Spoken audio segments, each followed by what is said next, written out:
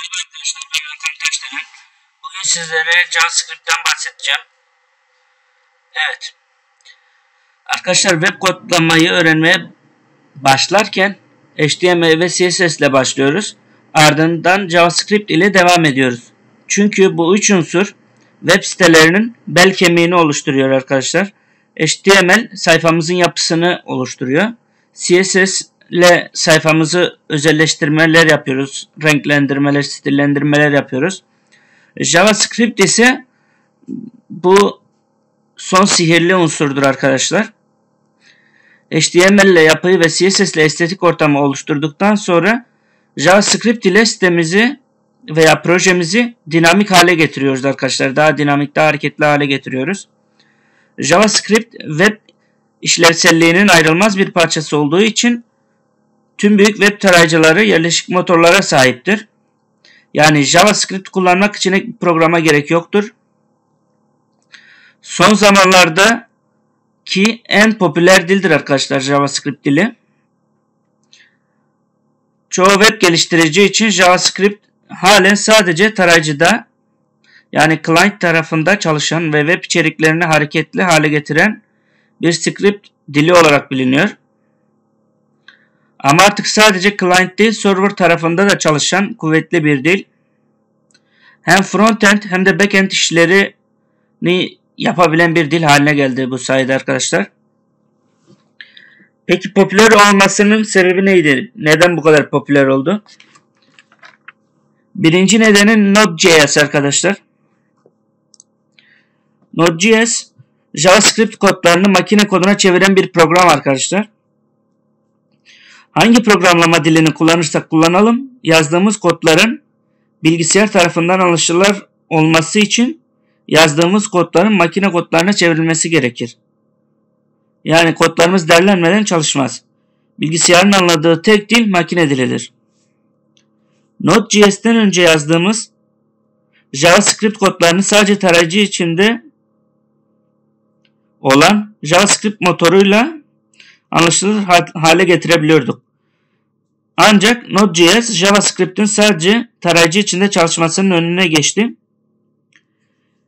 Google Chrome JavaScript VS8 engine'in tarayıcı içinden çıkarıp bir paket halinde kullanıcılara sundu. Google Chrome'un JavaScript VS8 engine'i arkadaşlar. Yani kullanıcılar artık Node.js paketini bilgisayarlarına kurup JavaScript kodlarını çalıştırabiliyorlar. Bunun anlamı JavaScript'in kullanım alanı tarayıcı dışında da mümkün hale geldi ve artık JavaScript'i bir server tabanlı programlama dili gibi kullanabiliyoruz. Bu server tabanlı programlama dillerine birkaç örnek verirsek arkadaşlar ESP.NET, PHP, Java vesaire bir tür programlama dilleri. İkinci sebebi NPM arkadaşlar. Node Package Manager. Bu Node Package Manager'la birçok hazır JavaScript kütüphanesini birkaç saniye içinde projemize indirebiliyoruz arkadaşlar.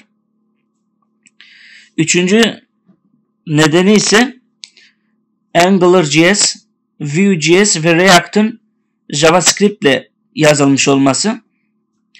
Bunlar arkadaşlar birer JavaScript kütüphaneleridir ve bir uygulamayı geliştirmek için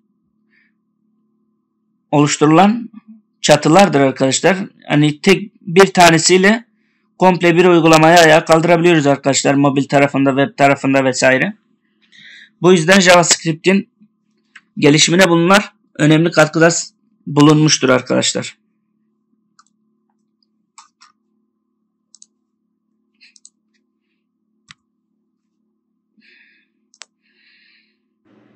Evet arkadaşlar anlatımı bitirdik. Şimdi kodlamaya ve konulara geçeceğim. Konulara falan geçmeden önce JavaScript'i nasıl yazarız ve nerelere yazarız ondan bahsedeyim. JavaScript'i HTML'in içinde taglerin arasına yazabiliriz arkadaşlar. Ya da şu şekilde ayrı bir dışarıda sonu JS olan bir dosya oluşturup içine onları yazabiliriz. Bu dosyayı da HTML'de içeri aktarırız arkadaşlar. Bu şekilde sayfamıza dahil edebiliriz. hemen index nokta html diyeyim. Bunun bu bootstrap değil de html iskeletini oluşturayım. Evet arkadaşlar. Bura script açıyoruz. Genelde body'nin kapanışının bir üstüne yazılır. Yani en altta body'nin en altına yazılır. O şekilde yazıyoruz.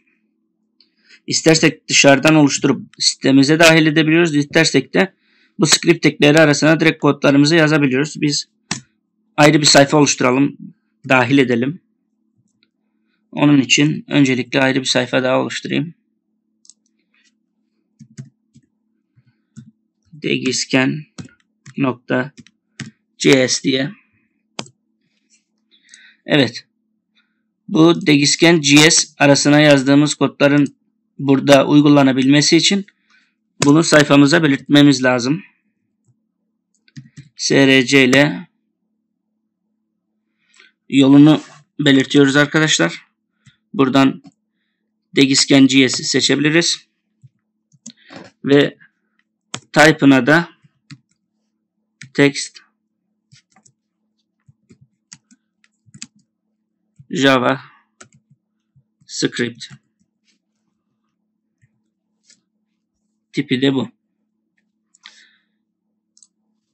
Evet. Yavaş yavaş başlayalım. Öncelikle değişken nedir diye başlamak istiyorum arkadaşlar. Değişken geçici olarak veri saklamak için oluşturulan alanlardır arkadaşlar değişkenler.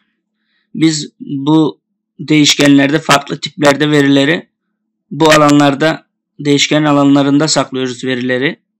Farklı tiplerle tabi. O tiplere de yavaş yavaş gireceğiz. Öncelikle değiş 3 farklı değişken tipi var. Onlardan başlayayım. Şöyle böyle tek satırlık bir yorum satırı oluşturayım. Bunlar var, let ve const arkadaşlar. Bu let ve const JavaScript'in e, ECMAScript 6, ES6 versiyonundan sonra gelen özellikler. Özellikle bu let olanı çok spesifik olarak kullanılabiliyor arkadaşlar. Yani bunda ne diyelim skopla skoplu işlemler yapabiliyoruz. Yani skoplu işlemlerden kastımız nedir? İçerisinde koşul değerleri vesaire kopsal şeyler yapabiliyoruz. Var sadece değişken tanımlamak içindir. LED ile de tanımlarız aynı şekilde ama LED daha kapsamlı vara göre. Buradaki const ise arkadaşlar sabit değerleri barındırıyor. Sabitleri barındırıyor. Hemen şöyle bir örnekle başlayalım. Arkadaşlar değişken tanımlarken çift tırnak da kullanabiliriz. Tek tırnak da kullanabiliriz. Şöyle tanımladım. Gördüğünüz gibi hatta verdi altını işaretledi. O da eşittir işaretini unuttuğum için arkadaşlar. E biz bu değeri yazdık. Bunu da kaydettik. Şöyle ekranda bir şey de görelim. JavaScript diye. Şimdi bunu da çalıştıralım.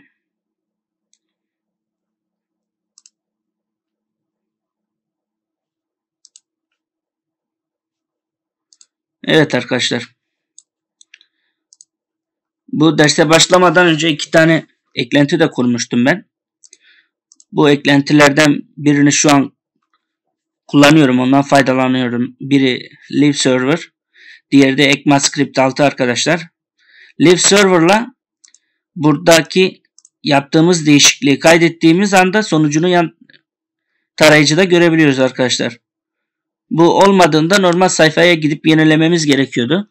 Ama bu olduğu için direkt kaydettiğimizde değişiklikler otomatik uygulanıyor arkadaşlar gördüğünüz gibi. Şunu silelim mesela.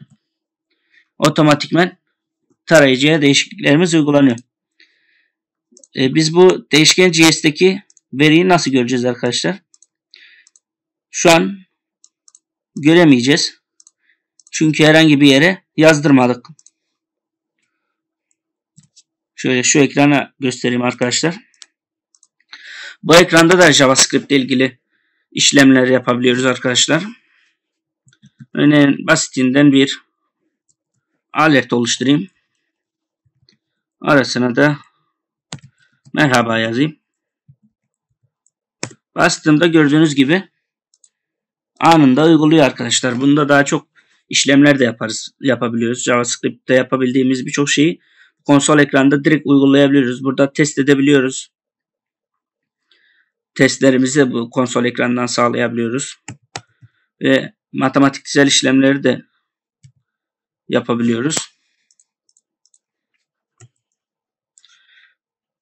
Her türlü matematiksel işlemi burada yapabiliyoruz arkadaşlar. Bunda bir sıkıntı yok. Mesela bir değer yazdıralım konsola.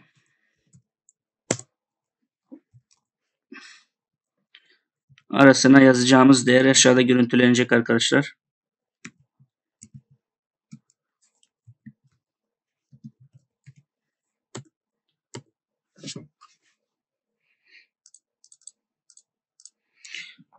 Undefined gözüktü. Evet.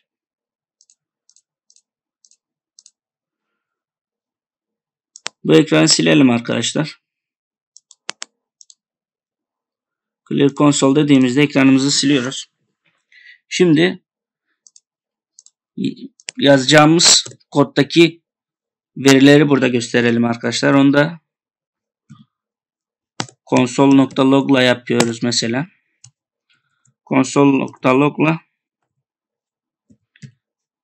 verilerimizi burada görüntüleyebiliyoruz arkadaşlar. Mesela F12 dediğimizde konsolda gözükmesi lazım bizim yazdığımız şu kod arkadaşlar. Ama görüntülenmedik. Niye görüntülenmedik acaba? Bir hata mı yaptım? Yok. Herhangi bir hata yapmadım. Konsola geliyorum. Tekrar kontrol ediyorum.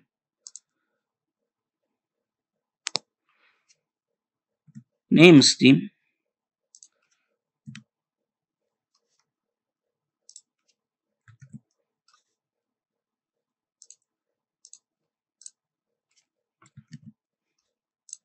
Yine görüntülenmedi. Allah Allah.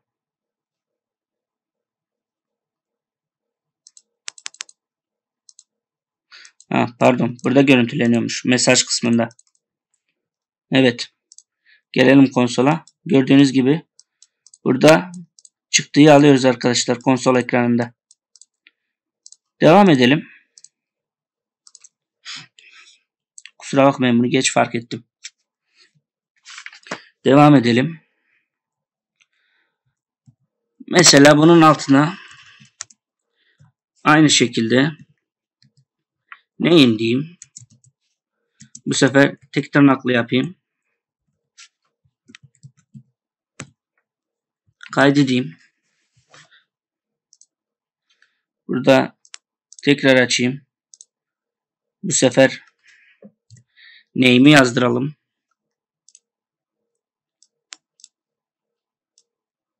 Farkı görebilmemiz için buraya başka bir şey yazayım. ASD yazayım mesela. Gördüğünüz gibi aynı şekilde ekrana yansıdı.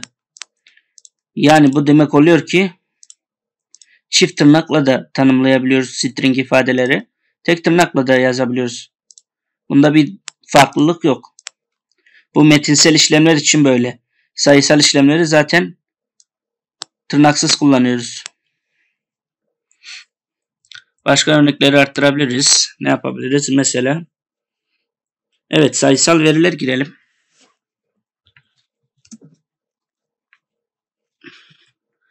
Var sayı diyeyim mesela. Buna 10 diyeyim. Burada da sayıyı yazdıralım. Gördüğünüz gibi 10 yazdı. Şöyle her ikisini de yazdıralım hatta şuradan.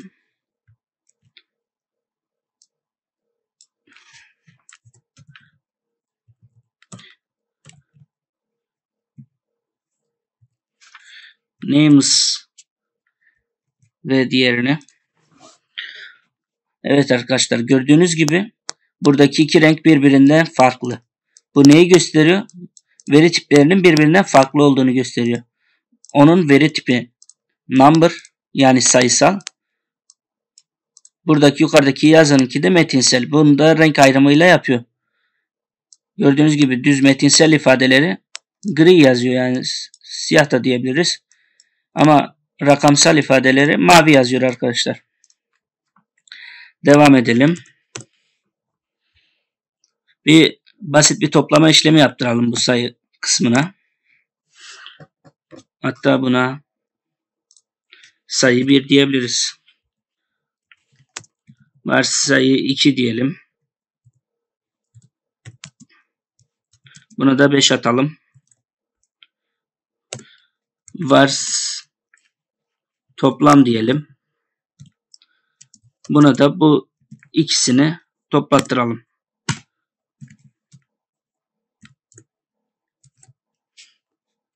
Kaydettiğimizde evet bir hata aldık. Niye hata aldık? Bir kontrol edelim. Çünkü sayıyı değiştirdik. Sayı 1 yaptık. Böyle bir değişken bulamadım diye bir hata veriyor. Not defined hatası veriyor. Hemen şurada bunun yerine toplam yazdığımda kaydettiğimde bu hata gidecektir. Gördüğünüz gibi 10 ile 15'i toplayıp 10 ile 5'i toplayıp 15'i ekrana yazdı.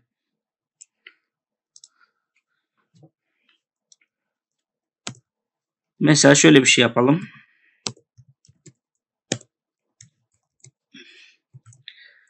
Sayı 2'yi ekrana yazdırsın.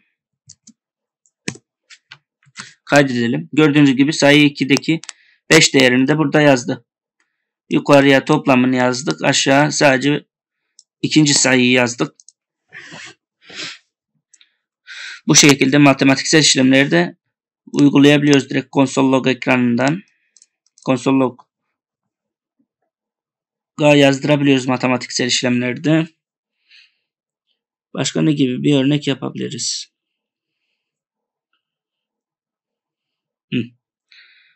Mesela geç az önce yaptık mı?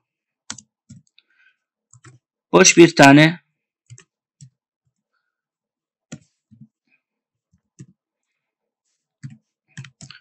boş bir tane değişken tanımlayalım. Hatta olmadığını belirtmek için y yazayım. Yok diyeyim mesela. Boş gönderdiğimizde değişkeni gördüğünüz gibi undefined yazıyor. Yani boş, belirsiz. Belirsiz demek istiyor undefined'da. Şundan bahsedeyim arkadaşlar. Mesela buraya ne yapabiliriz? Gerçi onu ileriki aşamalarda atabiliriz, yapabiliriz. Yapalım ya da ya. Yine sayı ilgili örnek yapalım. Var A diyelim. Buna 5 diyelim. Var B diyelim. Buna 3 diyelim. Şöyle güzel görünsün. Sonra burada A'ya 15 diyelim. Gördüğünüz gibi burada A'ya tekrar bir tanımlama yaptım. Ctrl S diyelim. Ve bu A'yı yazdıralım bakalım bize ne gibi bir sonuç döndürecek.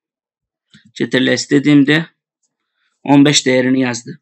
Yukarıda ilk başta 5 diye tanımlamıştık.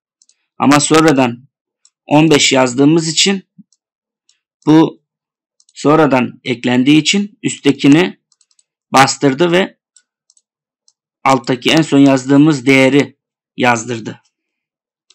Yani bu üstteki silinip gitmiş oldu yani. Öyle düşünebilirsiniz. Bu üsttekini yok edip A'ya yeniden 15'i atadı. Bununla ilgili değişik e, şeyler var. İlerleyen zamanlarda onu işleyeceğiz. Şimdi biraz kurallardan bahsedelim. Şöyle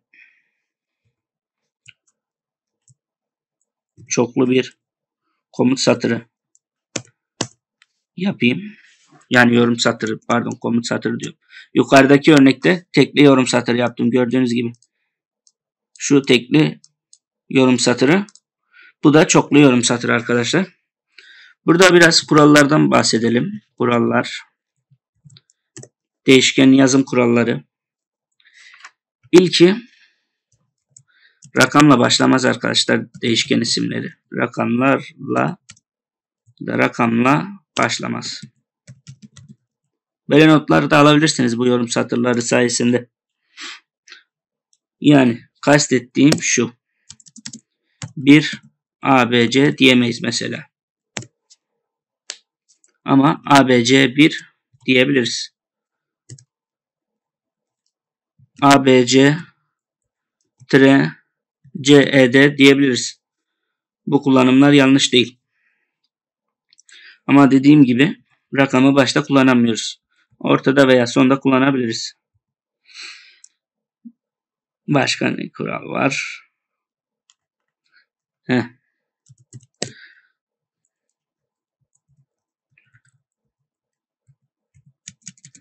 İki diyelim şuraya. Komut yani hazır komut ıı, isimleriyle de tanımlanma yapamıyoruz. Komut isimleriyle diyeyim. Tanımlama yapılmaz. Nedir mesela bu komut isimleri? Örneğin for. Örneğin if. Örneğin for each. Örneğin while. Bunlar e, kodlar arkadaşlar. Çeşitli kodlar. Bu kodlarla aynı isimde bir değişken oluşturamayız arkadaşlar. 3 diyelim. Büyük küçük harf duyarlılığı vardır arkadaşlar. Şöyle büyük küçük küçük harf duyarlılığı Bu ne anlama geliyor? Hemen şöyle kısa bir örnek vereyim. Ne diyeyim mesela? Şöyle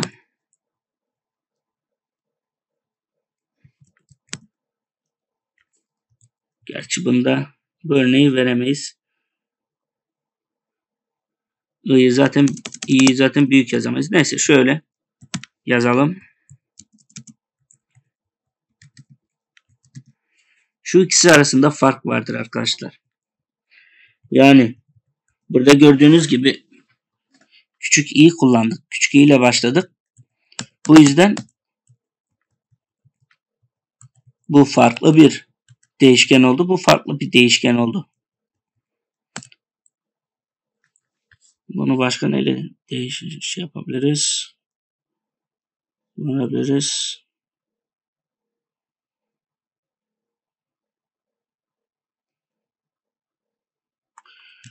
First name ile yapalım. Örneğin.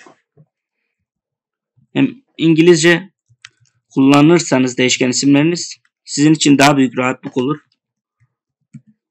Mesela first name diye bir değişkenle şöyle first name diye bir değişken birbirinden farklı değişkenlerdir arkadaşlar. Bu büyük küçük harf duyarlılığı vardır JavaScript'te. Bunları farklı birer değişken olarak görür. Bunlar farklı birer değişken olarak tanımlanır. O yüzden buna da dikkat edin. 4 diyelim.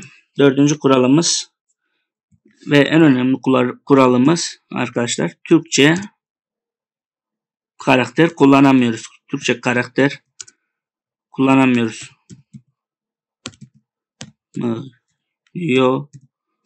Yani Türkçe harflerin hiçbirini kullanamıyoruz arkadaşlar. Açık ve net. Ş ile, yumuşak G ile, büyük E ile vesaire bu tür karakterleri kullanamıyoruz. Geçelim veri tiplerine. Değişkenlerin veri tiplerine. Bunu ayrı bir JavaScript dosyası açıp mı yapsam, bundan mı yapsam? Ayrı bir tane açayım. Bu böyle kalsın.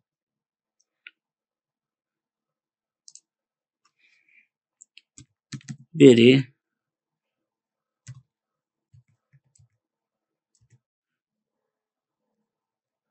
veri tip arasına bir alt çizgi açayım ki rahat okunabilsin. Veri tip nokta gs Evet arkadaşlar şimdi de verilerin tiplerine geçiyoruz. Şöyle bir yorum satırı yapayım arkadaşlar.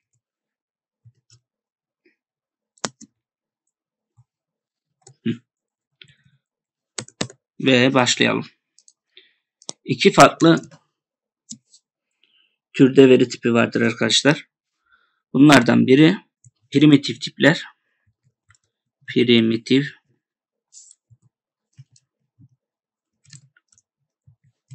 tipler. Çok boşluk oldu sanki burada. Biraz geri alayım. Böyle. İkincisi de referans tipleri arkadaşlar. Referans tipler. Bunların ne olduğunu da yazalım. Primitif tipler arkadaşlar. String number boolean bir de undefined referans tiplerimiz arkadaşlar object object tipler yani nesneler.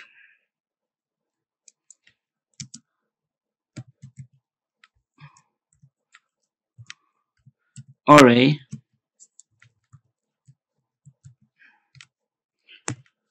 Array'den sonra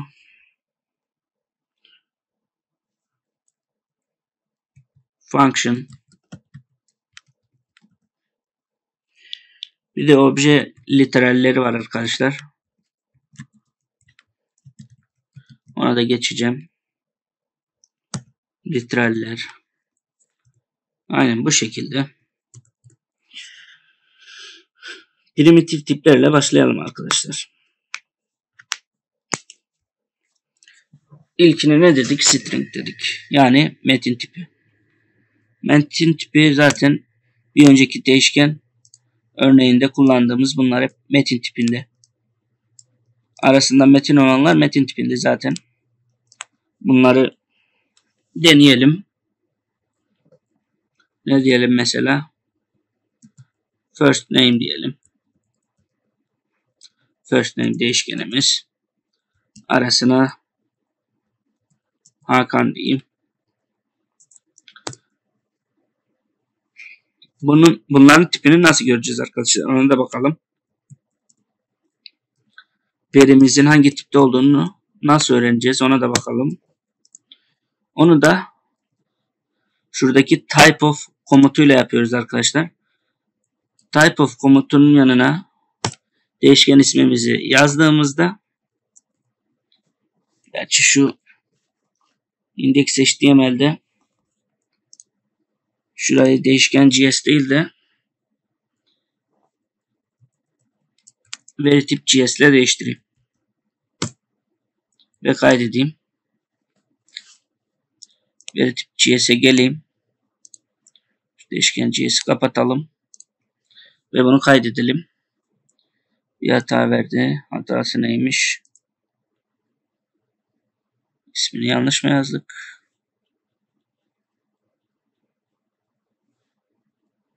Allah Allah ben bir hata göremiyorum.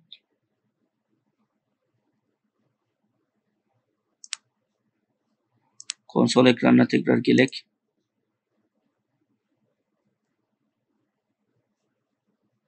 İndeks sayfamıza gelek. Ee, isimlendirmede yanlış yaptı. Hazır getirdiğimiz için bu JS'i silmedi. Şimdi sayfayı yenilediğimizde gördüğünüz gibi hata gitti. Evet. Burada type of'la verimimizin hangi tipte olduğunu öğrenebiliyoruz arkadaşlar. Mesela bu gördüğünüz gibi stringmiş. Buraya string olarak yazdım. Devam edelim. Var. Ne diyelim? Kilo diyelim. 75 diyelim. Bunun da aynı şekilde tipine bakalım.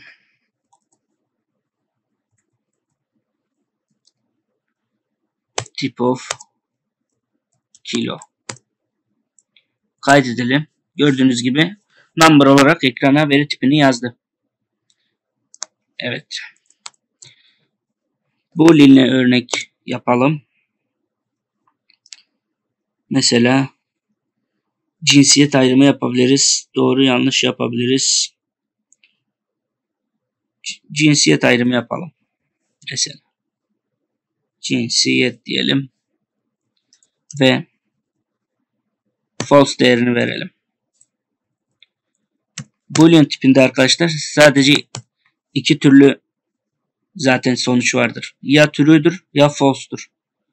False olduğunda bir çıktısı veriyor. Türü olduğunda bir çıktısı veriyor.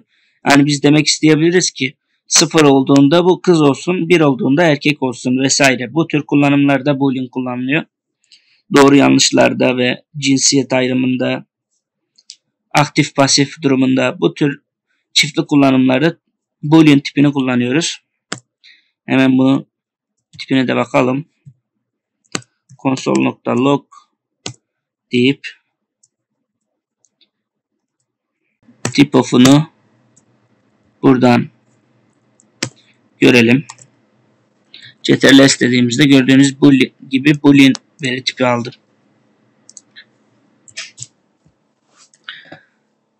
Başka ne vardı? Undefined. Undefined zaten şeyde içine herhangi bir veri yazmadığımızda boş, boş diyelim mesela. console.log kilo değil log şunun tipini sorgulattığımızda kaydettiğimizde gördüğünüz gibi undefined yani bilinmiyor demek istiyor bir nevi. Undefined'da geçtiğimize göre yavaş yavaş obje tiplere geçebiliriz.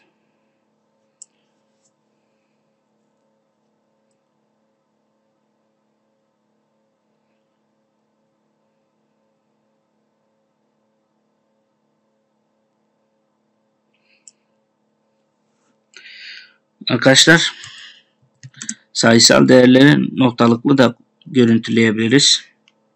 Ama gördüğünüz gibi ne diyelim var fiyat diyelim 10.50 diyelim mesela. Bunun tipine de bakmak istediğimizde şuradan kopyalayayım ya.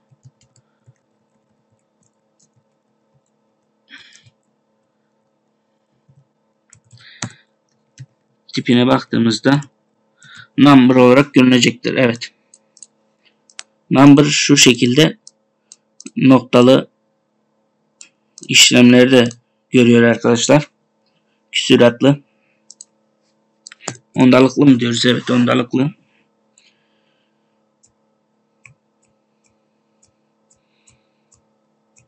Evet şu obje olaylarına geçelim.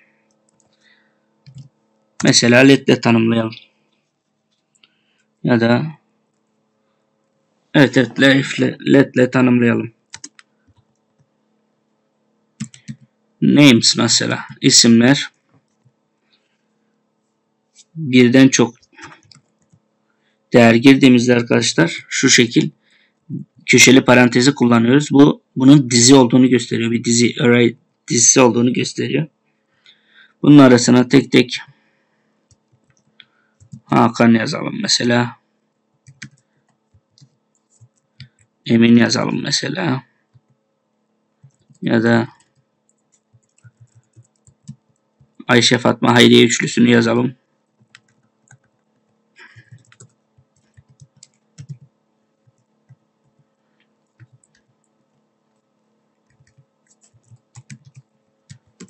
Hayriye.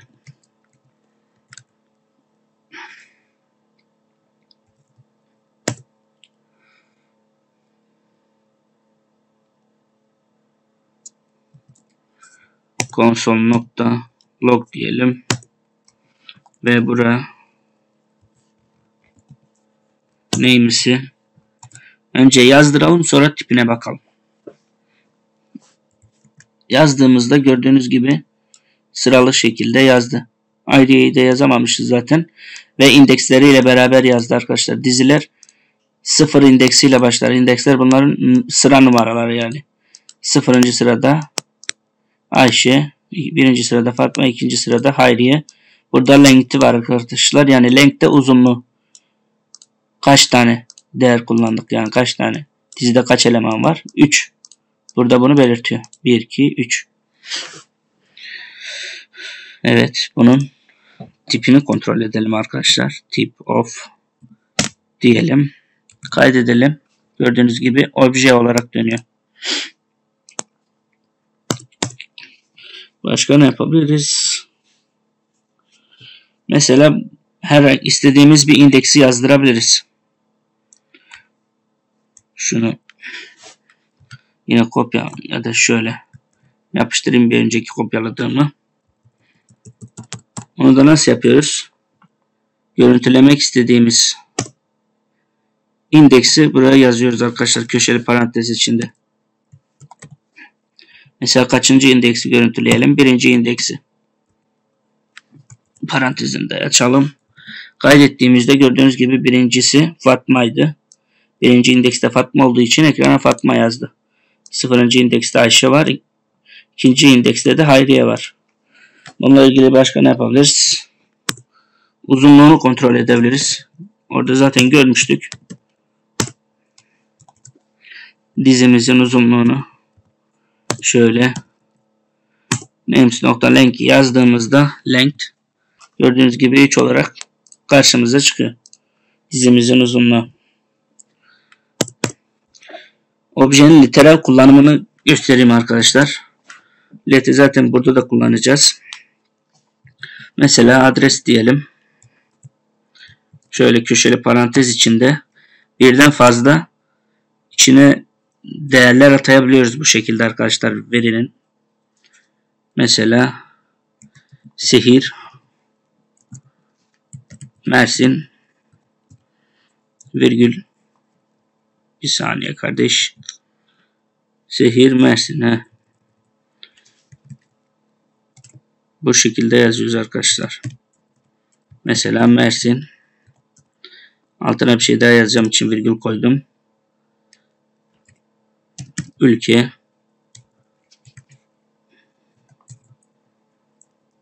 yine köşeye parantez koydum.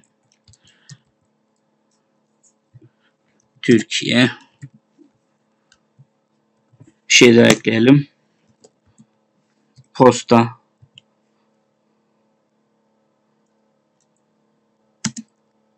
kodu diyelim mesela.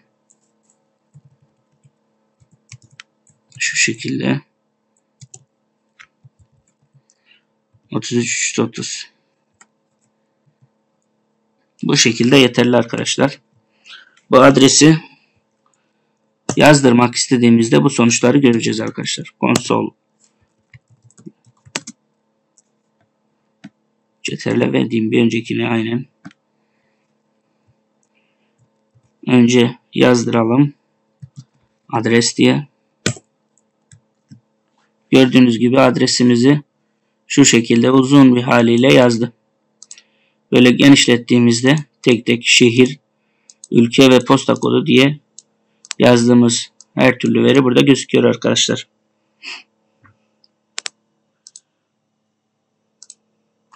Şöyle bir şey daha ekleyelim. Bir boolean değer, değer daha ekleyelim mesela. Onaylama diyelim. Buna da true diyelim. Onaylama true dediğimizde bunu işaretlemesinin sebebi yukarıya virgül koymamamız. Evet. Onaylama true dediğimizde gördüğünüz gibi boolean olan veriyi bile aldı yani. Bu şekilde kullandığımızda arasına çeşit çeşit değişik tipli verileri koyabiliyoruz. Ve yazdırdığımızda da aynı şekilde sıralı bir şekilde yazıyor. Bunda ne yapabiliriz mesela?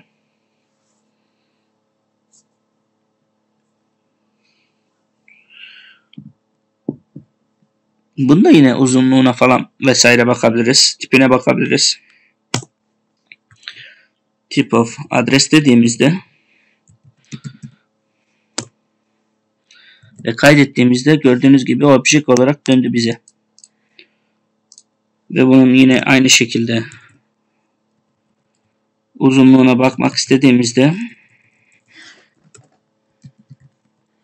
adres nokta length dediğimizde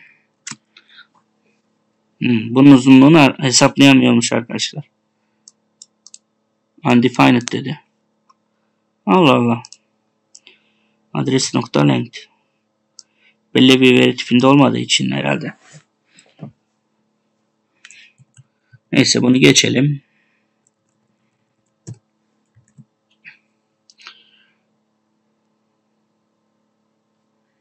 Ne yapabiliriz?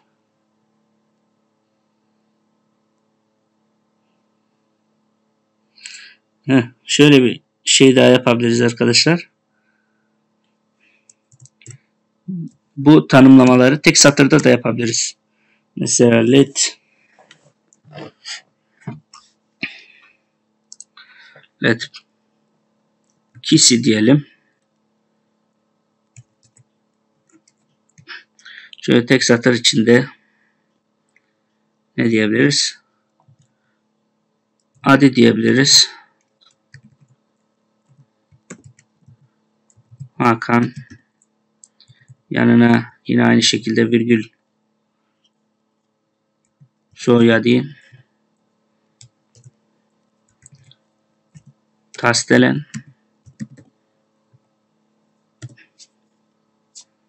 Başka ne yalan ekleyebiliriz? Yaş diyelim. Yaz. Yası da kaç olsun? 25 olsun. Böyle tek satırda da yazdırabiliyoruz arkadaşlar. Konsol nokta log dediğimizde kişiyi çalıştırdığımızda bir hatayla karşılaştık. Niye bir hatayla karşılaştık? İlat ikisi adını yazdık, soyadını yazdık, yaşını yazdık. Kodda bir hata göremiyorum. Skoplar açık kapanılmış. Konsol logo da yazdık.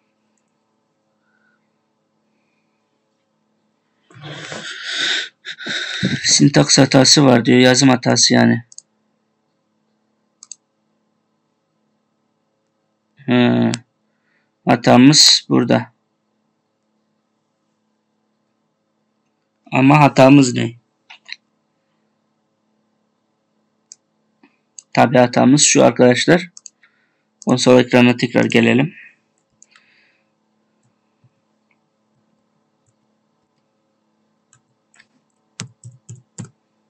Şöyle bir deneyelim.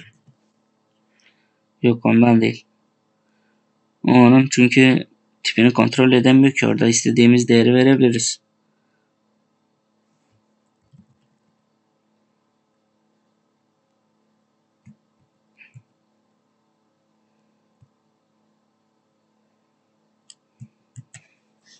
Şöyle şunu biraz daha genişleteyim.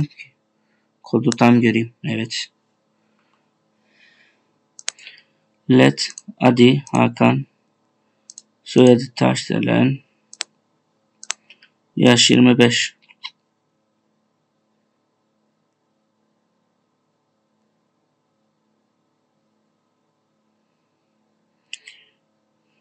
Allah Allah. Niye böyle bir hata verdik?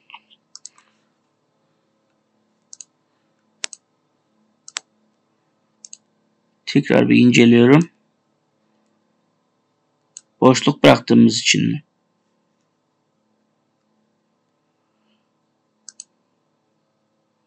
Virgülü koyduk. Bundan sonra da koyduk.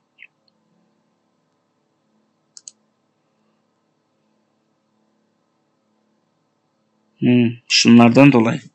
Bunları biz niye eşittir yaptık ki? Bunlar nokta olacak. İki nokta üst üste. Bunu paranteze de alsak fark etmez. Artık almasak da fark etmez. Aynı. Burada konsolumuza geri geldiğimizde yine aynı şekilde yazdı gördüğünüz gibi arkadaşlar. Bunlar Allah Allah bunların arasına niye ben eşittir işareti yazdım ki? Evet başka ne yapabiliriz? Yine buradaki tek bir değeri yine yazdırabiliriz. Veri tipine bakmamıza gerek yok.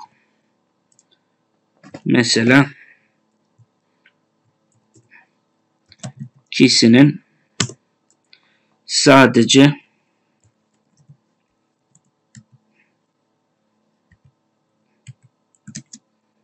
adını soyadını mı yaşını mı mesela sadece yaşını yazdıralım. Kaydettiğimizde gördüğünüz gibi sadece yaşını yazdırdı 25 diye. Böyle tek tek şeyler de yazdırabiliriz. Başka da bir kullanım şekli gelmiyor aklıma zaten. Evet fonksiyona gelelim arkadaşlar. Function. Ama bir tamamlama yine yapmamız lazım. Mesela var hesapla hesaplama ile ilgili bir fonksiyon yazdığımızı düşünelim. Fonksiyonu yazımı bu şekildedir. Şimdilik sadece sıfır döndürdüğünü varsayalım. Bunu yazdırdığımızda konsola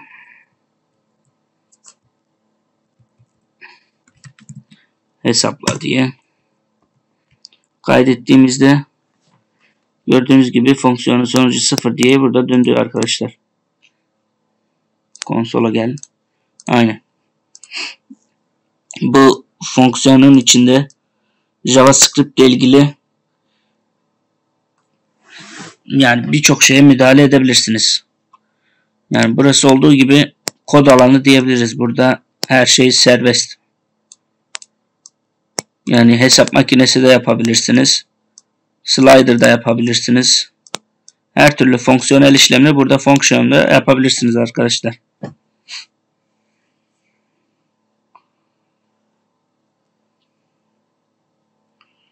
Şöyle bir kullanım daha yapalım mesela arkadaşlar. Burada led kişiyi yazdıydık ya mesela. Altına led kişiyi yine yazıp boş olarak gönderelim. Burada hala kullanıldığını söylüyor. Bunu yorum satır haline getirebiliriz. Şöyle başına yorum satırı yapalım. Kişi başka nerede kullanılıyor ki?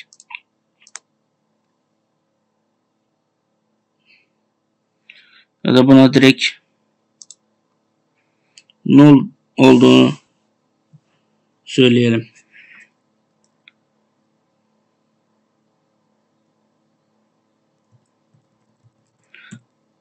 null değer olduğunu söyleyelim.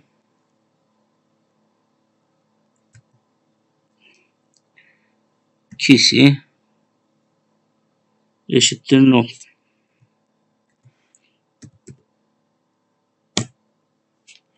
Şimdi null dediğimizde gördüğünüz gibi null değer döndü. Yukarıda eklediğimiz her şeyi null'la burada boşalttık. Boş olduğunu söyledik. Bu da bir kullanım şekli. Burada hesaplamanın tipine de bakalım. Ne diye dönmüş bize. Kaydettiğimizde gördüğünüz gibi bir fonksiyon tipinde olduğunu söyledi.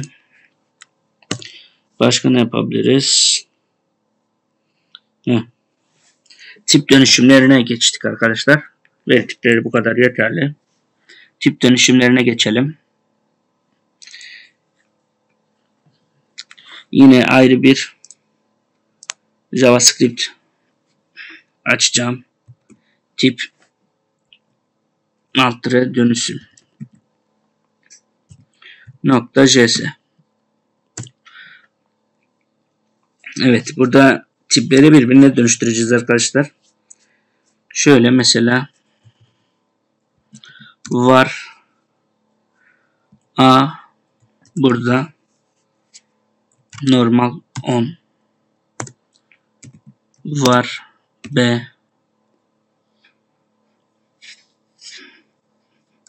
Eşittir. Şöyle string olarak 20 yazalım. Ve var. Toplam deyip a artı b dediğimizde ne olacak ona bakalım bunu konsola yazdıralım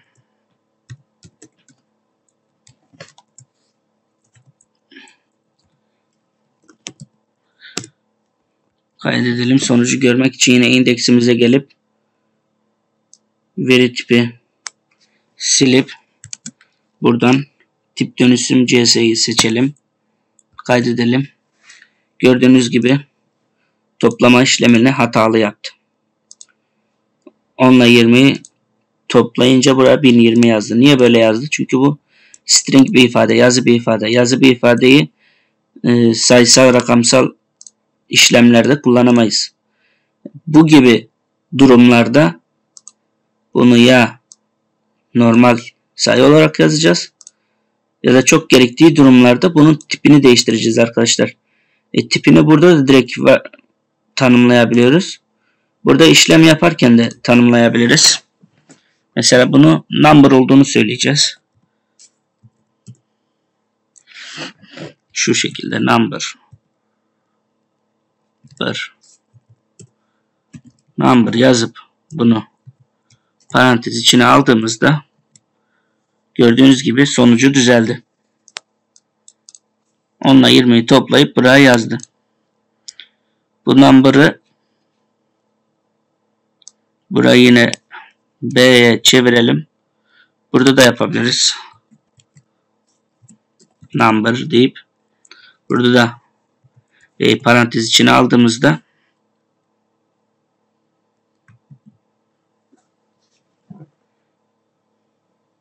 hmm, bu kullanımda köşeli paranteze gerek yok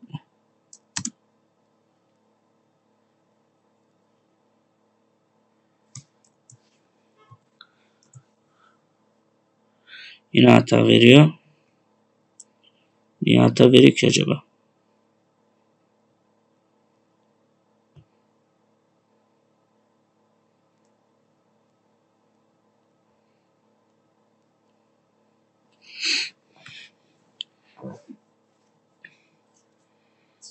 our number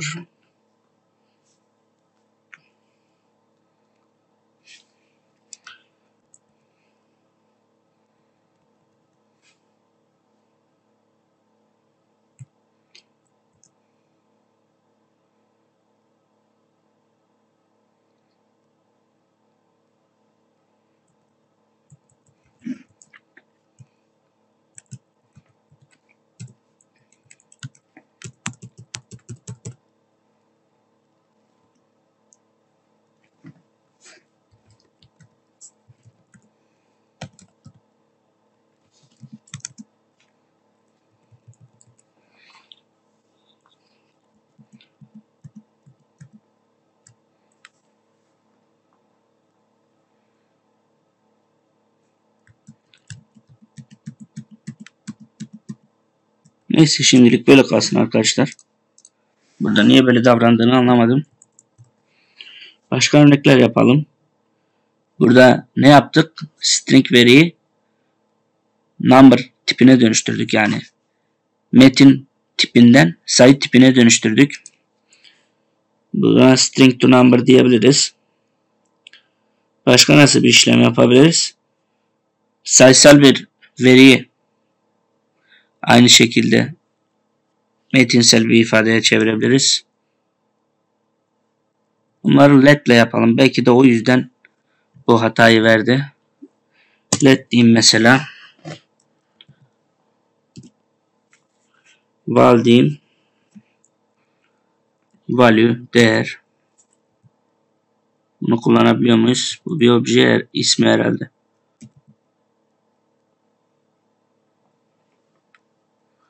Var değer diyelim. Değer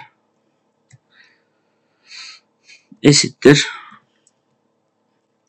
string şuraya 10 diye yazdığımızda buradaki onu direkt şey yapacak arkadaşlar. 10 number değerini string'e çevirmiş olacak. Şurada da demek ki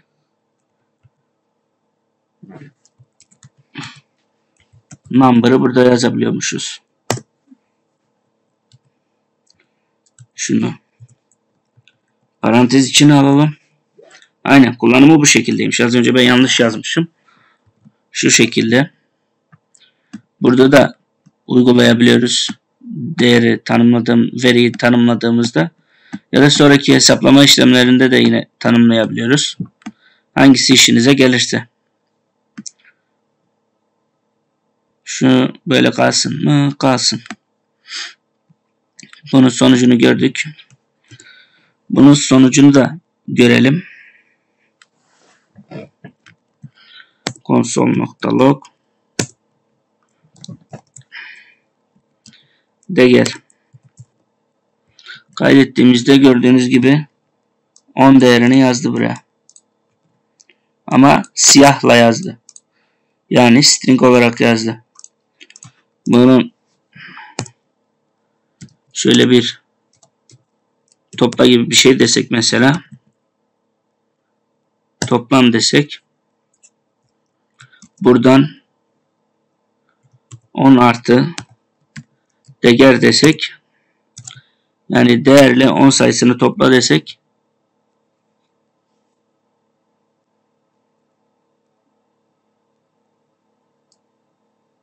Niye öyle bir şey dedi?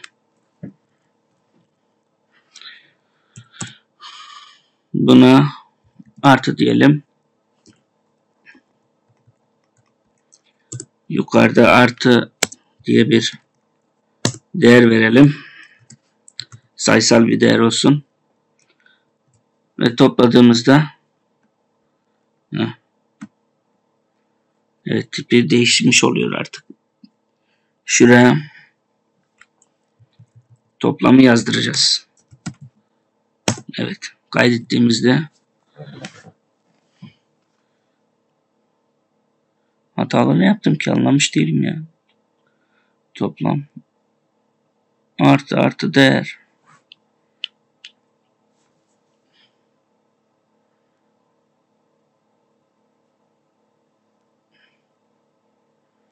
He.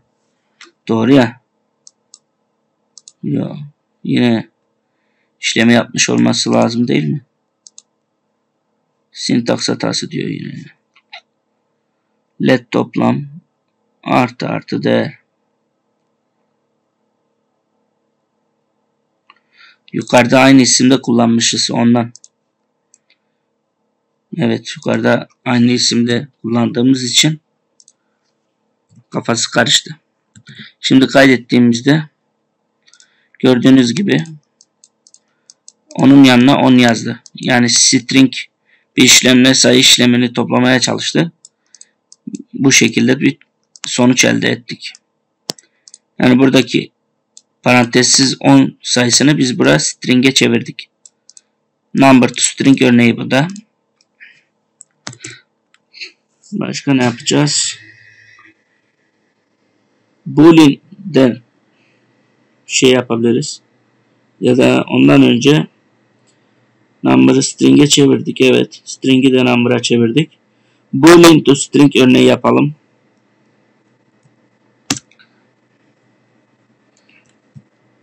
Value diye desem hata verir mi bir bakalım.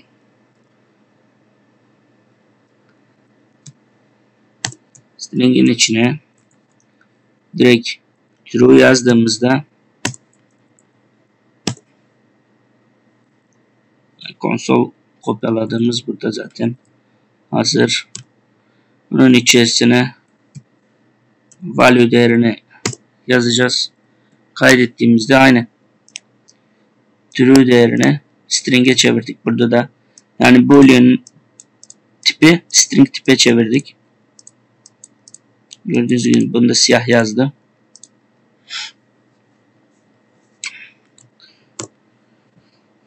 Evet. Array string yapabiliriz.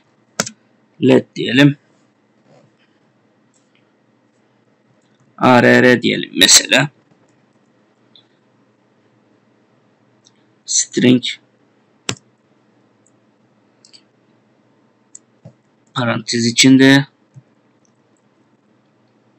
köşeli parantez içinde dizi değerlerini yazalım. Mesela sayı olarak yazalım. Yapıştıralım. Şunu ve A'rı ekrana yazdıralım. Gördüğünüz gibi burada dizi tipini de array tipini de string'e çevirdik. Array string diyebiliriz buna. Başka ne yapmadık? Heh. Daha önce kullanmadığımız bir tip date tipi yani tarih tipi. Bunu da tarih diyelim.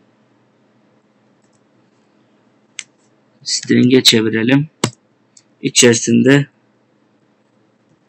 new date tanımı yapalım.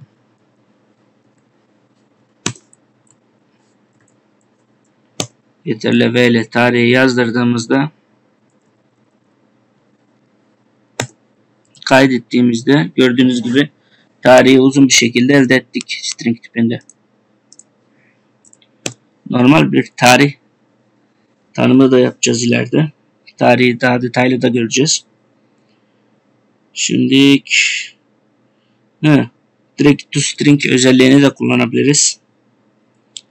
Mesela val yapalım. Val eşittir 10 diyelim yanına toString metodunu yazdığımızda ve bunu yazdırdığımızda ekrana Gerçi toString zaten ekrana da yazıyor diye biliyorum. Kaydedelim. Yazmadı. Console log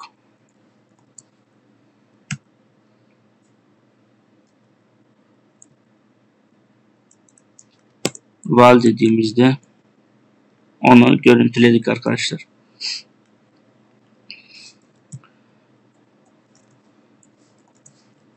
Şuraya mesela bir false yazalım. Bunu to string deyip string'e çevirelim yine. Boolean tipi string'e çeviriyoruz. Filtreleme diyelim. Burada yine vali yazdıralım. S diyelim. Gördüğünüz gibi aynı şekilde string'e çevirmiş oldu. Bir de şöyle bir şey fark ettiniz mi arkadaşlar? Direkt val deyip kullanabildik burada. Yani bir isim vermedik.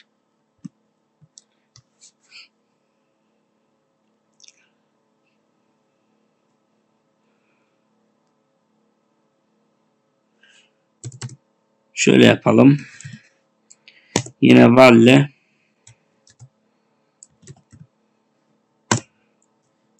bu sefer boolean tipi number'a çevirdik.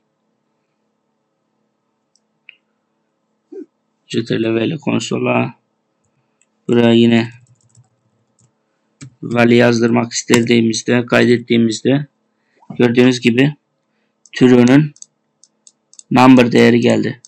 Varsayılan. Türünün yani doğru olanın varsayılan değeri 1'dir. False'un ki 0'dır arkadaşlar. Şurada hemen false yazıp sonucu görüntüleyebiliriz. Kaydettiğimizde gördüğünüz gibi 0 oldu. False'un değeri 0'dır. Türününki 1'dir arkadaşlar.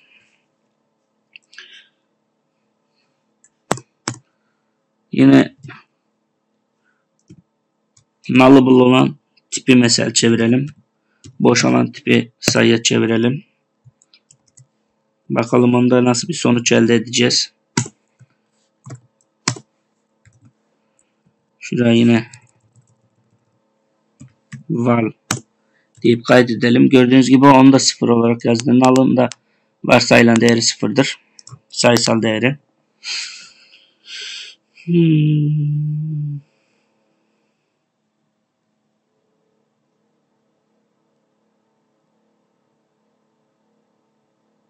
Hmm. Şöyle bir şey deneyelim arkadaşlar. String bir veriyi number'a çevirmeyi deneyelim. Bakalım nasıl bir sonuç elde edeceğiz. Çünkü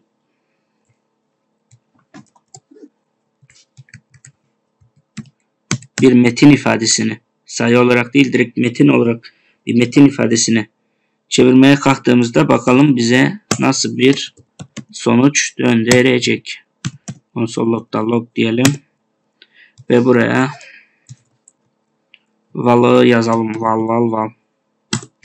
Kaydedelim. Evet gördüğünüz gibi bize hata verdi. Ne hatası verdi? Nan hatası vermiş olması lazım.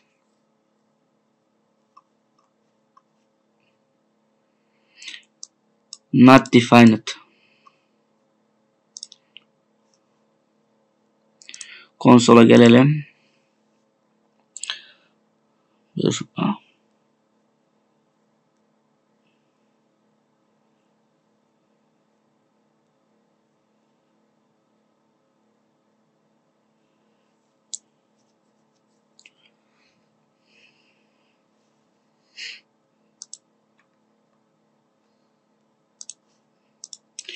Bunu bir de şeyde deneyelim. Array tipinde deneyelim. Number diyelim yine.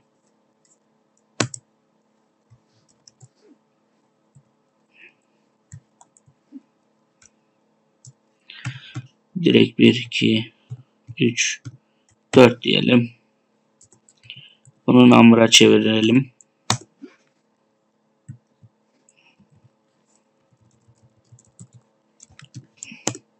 Kaydedelim. Yine hatayla karşılaştık.